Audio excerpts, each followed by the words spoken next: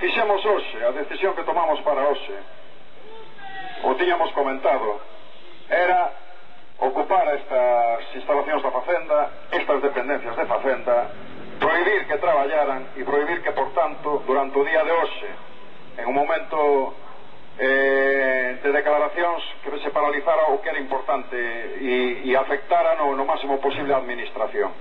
Eso ten unhas consecuencias porque cando decidimos vir aquí E parar isto, decidímoslo porque queremos, estamos exigindo que se involucre a administración, que quenes actúan aquí no, na, desde, desde a administración e desde a propia facenda que saben dende fai algún tempo porque temos denunciado unhas cuantas veces que siga habendo hai empresas que actúan con todo tipo de tolerancia con eh, eh, con, con, certa, con certa permisividade por parte da administración que siguen defraudando na cuestión dos impostos que siguen pagando en negro. Moitos dos vosos xefes moitísimos das empresas auxiliares que están traballando e, e, e das que hoxe mismo se están opoñendo á aplicación do convenio moitas delas son defraudadoras. Facenda o sabe pero non actúa contra eles. Esos señores, estes empresarios os vosos empresarios Os auxiliares siguen indo por aí, están en todos os lugares, siguen sendo estrellas de cine, eh? como lle chaman agora emprendedores, non explotadores, emprendedores, porque os denominan así dese xeito, siguen facendo o que queren, campando as súas anchas, e non hai ninguén que os pare. Entón, eles dicen, non cumprimos o convenio, aí son os sindicatos que están alimentando o conflito artificial, por razóns políticas, dicen eles, porque se teñen que apoderar de algún argumento, dar algunha razón para que se entenda por que estamos na rúa. E no metal e no naval, sempre que estuvemos na rúa, sempre estuvemos asistidos de moitísimas razóns. Esta é moi poderosa, é a aplicación da lei, da nosa lei, da que pactamos, da que tuvemos que pelear no mes de maio pasado, e da que vamos a conseguir que se aplique por moito que lles coste, por moitas mentiras que poidan decir. Unha cousa que lle trasladamos aquí aos Administración de Facenda é que non olvidamos que actúe contra eles, que non lles deixe seguir como están. Segundo, me estaban comentando agora unhas declaracións, non unhas declaracións, senón un escrito, unha redacción dun periódico, un artigo nun periódico, e donde se nos está, donde nos, se nos está tratando de maneira moi desconsiderada. Se nos está chamando vándalos. E temos que decir, porque é un medio que está aquí, e o vimos a decir aquí, eh? porque, sobre todo, nós sabemos diferenciar os medios dos traballadores. É decir, as persoas que están aquí nos medios de comunicación son traballadores, fan, elaboran noticia, pero desde as direccións dos periódicos toman posición política e teñen normalmente posición en contra nosa. Pero que non pode ser, porque que se nos juzga a nós con tanta severidade, porque se queiman cato contenedores, y os que están aí sempre, estos señores os que nos estamos enfrentando, que todos os días, si poden, incumplen e máis, que pagan como queren, que están roubando salarios, que se han tratado de forma diferente a nós.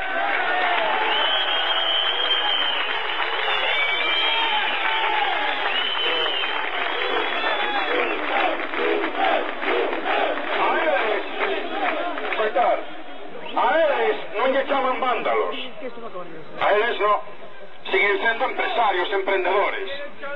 Entonces, nós gratuitamente estamos na rúa soportando que soportamos, perdendo salario como estades perdendo salario, pero así é todo, se pensan que van a rendir o naval, se pensan que nos van a ganar por ternos así, en esta situación, si siguen mandándonos o invite, intentando, intentando derrotarnos dicindo que non queren negociar, están confundidos, porque acabarán negociando, acabarán acordando e acabarán cumprindo o convenio, por moito que lles pese. Seguro. Entonces, a nosa mensaxe para a administración é que tome nota. Desde a administración, desde a parte política da administración no Estado, aquí na Xunta de Galicia, que empecen a moverse. Que os poñan no seu sitio, que lles digan que teñen unha obligación legal, corporativa, de cumprir coa lei, antes que nadie.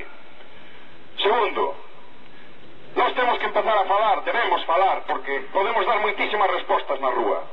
Esta resposta de de paralizar facenda era unha resposta contundente.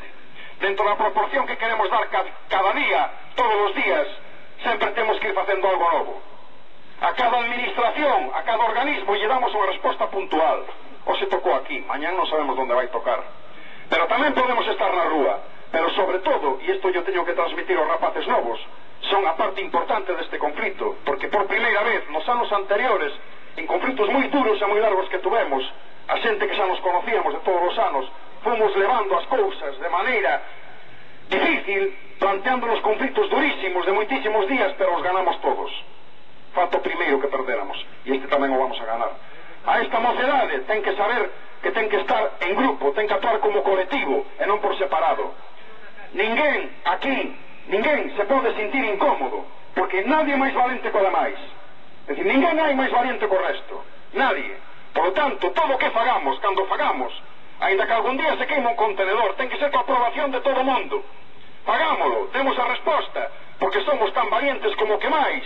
E ademais, este sector, aquí no metal e no naval concretamente, somos capaces de decir, porque desafortunadamente ninguén está nas condicións que temos nós, de poder pelear. Nadie ten esa capacidade de resposta que temos nós, pero temos que saber administrarla. Temos que saber ter a opinión pública e a xente, a cidadanía, o povo, porque nós somos povo e eles son parte nós e nós parte deles. Temos que telos con nós.